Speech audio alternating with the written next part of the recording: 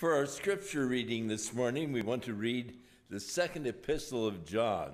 So go to Revelation and then turn left a couple of books and you'll find it. The second epistle of John. I'll f- read the first in the odd numbered verses. Pastor Brian will lead you in the reading of the even numbered verses. And shall we stand as we read the word of God?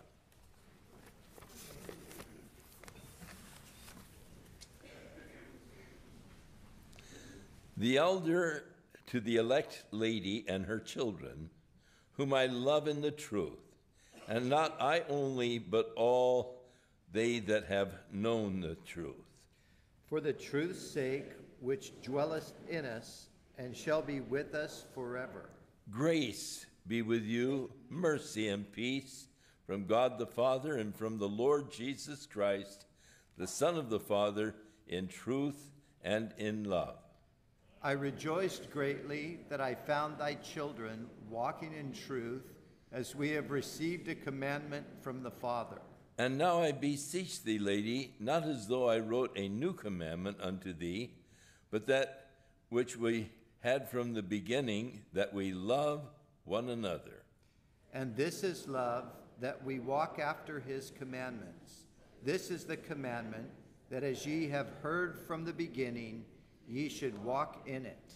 For many deceivers are entered into the world who confess not that Jesus Christ is come in the flesh. This is a deceiver and an antichrist. Look to yourselves that we lose not those things which we have wrought, but that we receive a full reward. Whosoever transgresseth and abideth not in the doctrine of Christ hath not God. And he that abideth in the doctrine of Christ, he hath both the Father and the Son. If there come any unto you and bring not this doctrine, receive him not into your house, neither bid him Godspeed. For he that biddeth him Godspeed is a partaker of his evil deeds. Having many things to write unto you, I would not write with paper and ink, but I trust to come unto you and to speak face to face, that our joy may be full. The children of the elect sister greet thee. Amen. Let's pray. Father, we thank you that you have given to us the Word of God to guide us into all truth.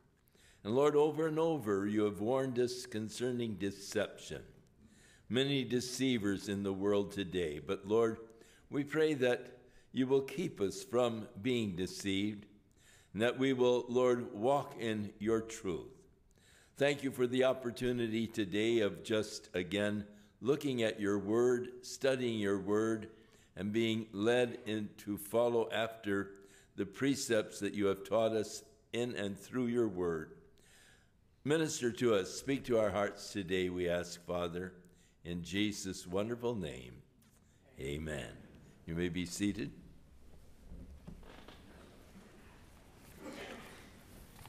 Well, we're moving through the book of Jeremiah, almost finished. In fact, one more week in Jeremiah, and we move on to the prophet Ezekiel. So this week it is Jeremiah 41 through 45. We encourage you to read it over. Join with us tonight at 7 o'clock as we continue this journey through the Bible. Uh, but uh, this morning we want to draw your attention well, to chapter 42 and uh, a tip into chapter 43. So here's the situation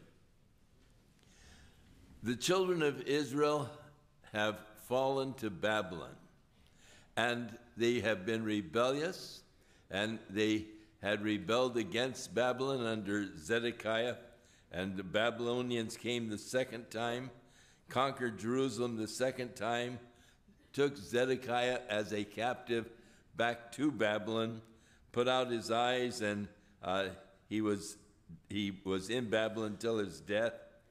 And Babylon put a fellow by the name of Gedaliah over uh, to watch over Jerusalem. Gedaliah was a wonderful man, but uh, there was a conspiracy, and a group of fellows actually assassinated him. And so uh, the uh, people that are still there in the land are fearful of the ba- Babylonians coming to retaliate. And so uh, they have gathered together and they're ready to escape to Egypt uh, to escape the retaliation of Babylon because of this heinous crime against uh, the Babylonian authority that had been established there in the land. And so they are down near Bethlehem and uh, they are ready to make the journey back, to back through the wilderness to Egypt in order to seek the safety of Egypt from the retaliation by the Babylonians. And so that's where we pick it up in chapter 42, verse 2. We read there that a group of the leaders came to Jeremiah the prophet and they said to him, We ask you, accept our supplication. Pray for us unto the Lord thy God, even for all this remnant, for we are only a few left out of many, as you can see. Ask the Lord thy God to show us the way wherein we may walk, and show us what to do. And then Jeremiah the prophet said unto them, I have heard you, and behold, I will pray unto the Lord your God according to your words, and it shall come to pass that whatever thing the Lord shall answer you, I will declare it unto you. I will keep nothing back from you. And then they said to Jeremiah, The Lord be a true and a faithful witness between us, if we do not even according to all of the things which the Lord thy God shall tell you for us to do whether it is good or whether it is evil, we will obey the voice of the Lord our God, to whom we send thee, that it may be well with us when we obey the voice of the Lord our God. Sounds good, doesn't it? Here they are making a commitment. They're coming to Jeremiah and they're saying, Inquire of the Lord, find out what we should do, and whatever the Lord says, we will do it, no matter what, you know, we will obey the Lord. It Sounds like they've learned their lesson and things at this point are looking quite good. Here's a group of people seeking the will of the Lord and vowing to obey whatever God tells them to do, whatever it may be. But you know, vows and promises are deceptive. For usually we believe them. We're deceived ourselves by the promises that we make. I think that we are often very sincere when we make promises or vows unto God. We intend to keep them, uh, but yet uh, I, I think that so often people make their vows and yet when it comes right down to it, they don't keep the vows that they have made. So they become very deceptive because I think, well, I've promised that I'll do this, and I surely will, you know, if things are fine and goes right. Uh, but it's interesting. Vows are usually made, or promises are usually made in a day of trouble. When I'm needing help from God and I want to get some uh, special help from Him, I say, Now, Lord, if you'll just do this for me, this is what I'll do for you. And we're, we're trying to make a deal with God, you know. It's sort of, well, let's make a deal, you know. You help me and I'll do this, and it's a promise sort of uh, actually trying to curry uh, the favor of God for the requests that I am making. God tells us in Ezekiel uh, 5 5, it's better that you not vow than that you should make a vow and not to pay it. In Matthew 21 28, Jesus spoke a parable and he said, What do you think? There was a certain man who had two sons, and he came to the first and he said, Son, go work today in my vineyard. And he answered and said, I will not. But afterwards he repented and he went out and uh, worked. The second son, he said, Go and work in my vineyard. And he said, Yes, sir. But he didn't go. Which of them did the will of the Father? And they said unto him, well, the first one, of course. Too many people, there is all talk and no walk. One thing to say it, it's another thing to do it. And the Lord doesn't really reward me for what I say, but He rewards me for what I do. Jesus said in Matthew 7 21, not everyone who says, Lord, Lord, will enter the kingdom of heaven, but he who does the will of my Father which is in heaven. For many will say to me in that day, Lord, Lord, have we not prophesied in thy name? And in thy name we've cast out devils, and in that thy name we've done many wonderful works. And Jesus said, Then will I profess unto them, I never knew you. Depart from me, ye that work iniquity. Paul expressed a concern of his own to the Corinthians in 1 Corinthians 9:27. He said, "I keep my body under and bring it into subjection, lest by any means when I have preached to others, I myself should be a castaway." Paul is saying, I really don't trust myself. I keep my body under. My body is wanting to rule, but I keep it under, under the control of the Spirit, because I am concerned lest having preached to others, I myself would be a castaway or set on the shelf. Peter warned in his second epistle, chapter 1, and beside this, giving all diligent, add to your faith virtue, to your virtue, knowledge, to your knowledge, temperance, to temperance, patience, to patience, godliness. To godliness, brotherly kindness, and to brotherly kindness, love.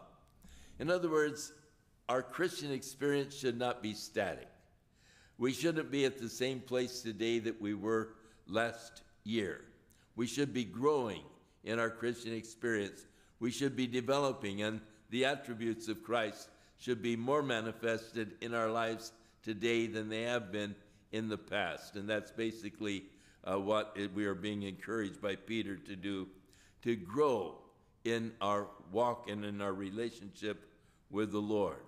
For he said, If these things be in you, these characteristics, and they abound, they will make you that you will neither be barren nor unfruitful in the knowledge of our Lord Jesus Christ. But he who lacks these things is blind, and he is nearsighted and he has forgotten that he has been purged from the old life. Wherefore, the rather, brethren, give diligence to make your calling and election sure, for if you do these things, you shall never fall. Are you sure of your calling and election? The very fact that we're told to be diligent and to make it certain means that there are many people who are trusting in deception they're trusting in their own words, in what they say they will do, but not in what they are actually doing. Are you trusting uh, in what you are saying? Uh, remember, it is so easy to say the right things, but doing the right thing is often a far different story. In our lesson today, the people are saying the right things. They said to Jeremiah, The Lord be true and faithful, be a witness between us. If we do not according to all of the things which the Lord our God tells us to do, whether it is good, whether it is evil, we will obey the voice of the Lord our God to whom we send thee, that it may be well with us, that we may obey the voice of the Lord our God. Sounds good. They're saying the right things. However, when it came down to it. After 10 days, Jeremiah had sought the Lord and he came to the people. And there in verse 10 of chapter 42, he said, If you will abide in this land, the Lord declares, I will build you and not pull you down. I will plant you and not pluck you up. For I repent for the evil that I had to do unto you. But be not afraid of the king of Babylon, saith the Lord, for I am with you to save you and to deliver you from his hand. And I will show mercies unto you, that he may have mercy upon you and cause you to return to your own land. But if you say, We will not dwell in this land, neither obey the voice of the Lord your God, saying, No, but we will go to the land of Egypt, where we will see no war, will not hear the trumpet, nor the hunger of bread, nor we will dwell there. Now therefore, Hear the word of the Lord, ye remnant of Judah. Thus saith the Lord of hosts, the God of Israel If you wholly set your faces to enter into Egypt and to go and sojourn there, then it shall come to pass that the sword which you feared will overtake you there in the land of Egypt, and the famine of which you were afraid. And it shall follow close after you there in Egypt, and you will die there, and so shall it be with all of the men that set their faces to go to Egypt to stay there. They shall die by the sword, and by the famine, and by the pestilence. None of them shall escape the evil that I will bring upon them. For thus saith the Lord of hosts, the God of Israel As my anger and my fury has been poured forth upon the inhabitants of Jerusalem, so shall my fury be poured forth upon you when you enter into Egypt, and you shall be an execration and an astonishment, a curse and a reproach, and you shall see this place no more. Very stern warning from God to them through Jeremiah don't go to Egypt. It's going to be a problem. If you go there, you'll die there. You'll never see this place again. Now, these people at this point have some very serious considerations. Do we believe and obey God and stay here and trust God to protect us from uh, a, a Babylonian reprisal for what has been done? Or shall we go to Egypt to seek the protection of Egypt? It is interesting that in the Bible, Egypt is always a type of the life of the flesh. And uh, it is really returning to uh, the trusting in the flesh. Uh, if we go to Egypt, we'll trust in Egypt to deliver us from the hand of the Babylonians. It seems that sooner or later, it comes to this in our lives. Do I trust in the help of God or do I trust in the help of man? Proverbs 29 tells us that the fear of man brings a snare, but whoso puts his trust in the Lord shall be safe. So here is the decision they'll have to make. They've said to Jeremiah, You seek the Lord, whatever he tells us to do, we'll do it no matter what, good or evil, we'll do it. You know, tell us what does God say he tells them what God says. And he warns them don't do your own thing. Listen to what God has told you.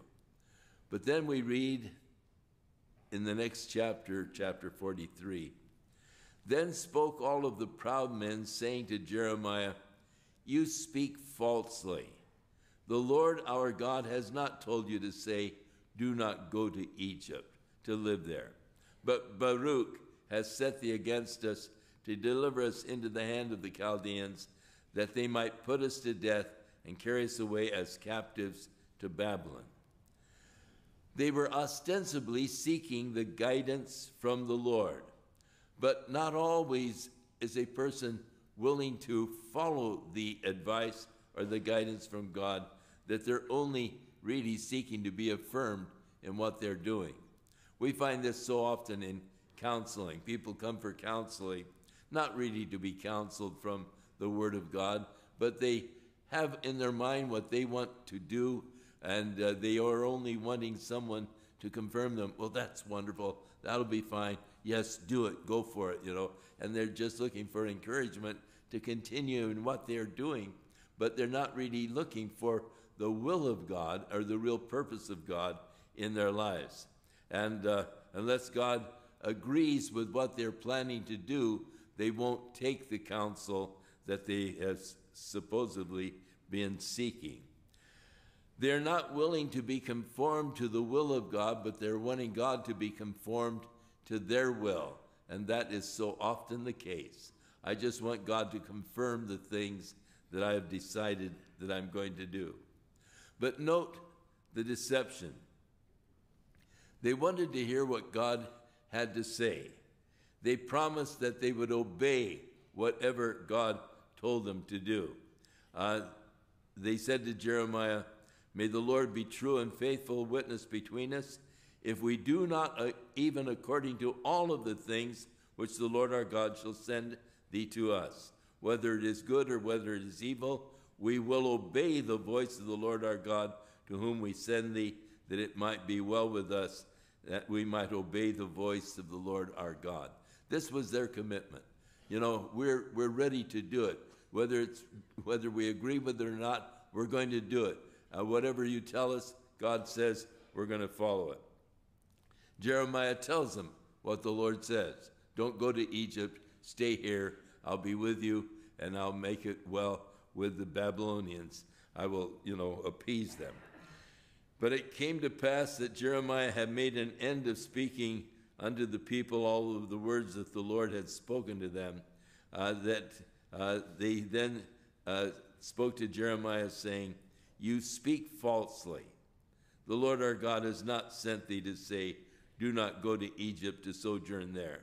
But Baruch set thee against us to deliver us into the hand of Chaldeans, that they might put us to death and carry us away as captives to Babylon.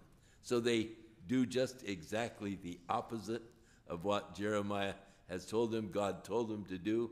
Don't go to Egypt. And so they decided that they would head for Egypt anyhow, because that was in their mind to do from the beginning.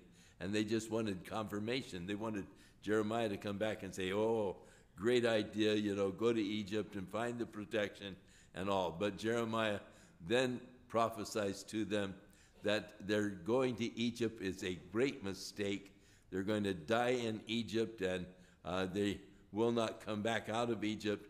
And the thing they're trying to flee from, the Babylonian army, will pursue them to Egypt, and there they will be conquered by the Babylonians. There they will experience uh, the hunger and so forth, uh, the destruction from the Babylonians. It's a one way street. You'll never return. So, guess what happened? I think you know. The Babylonians did invade, and they invaded Egypt, and they conquered Egypt, and the children of Israel who had fled to Egypt for protection all died in Egypt.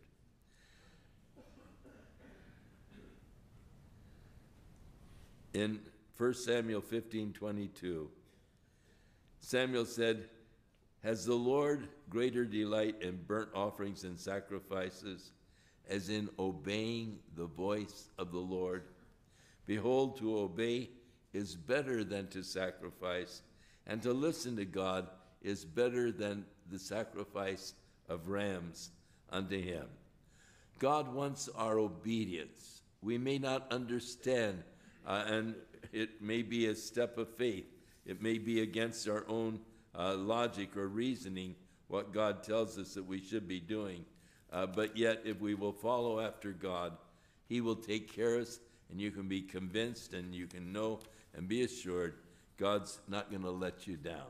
So, again, what a lesson we have here in uh, this uh, prophecy of Jeremiah of, of the people who were seeking the guidance from God who hear the guidance from God and then disobey, and just the calamities that they were seeking to escape come upon them just as God said they would.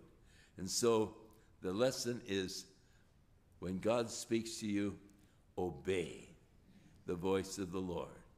He'll take care of you. You don't have to worry, you don't have to be concerned.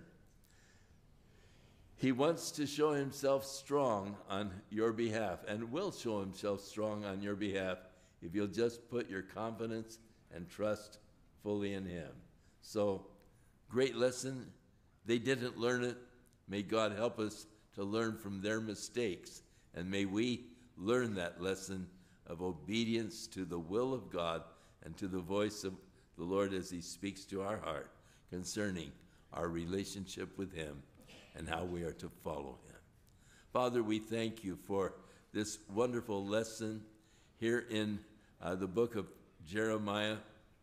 And Lord, we pray that we might learn from their mistakes, that we will not go our own way, nor just really supposedly seeking your guidance and help only to confirm what we're planning to do and then going ahead and doing what we are wanting and planning to do despite of what you have said. But Lord, help us to be obedient to your voice, to follow the leading of your Spirit, that you, Lord, might be glorified in and through our lives as we take this step of faith and put our trust and confidence in you. We ask it in the name of Jesus our Lord. Amen. Shall we stand?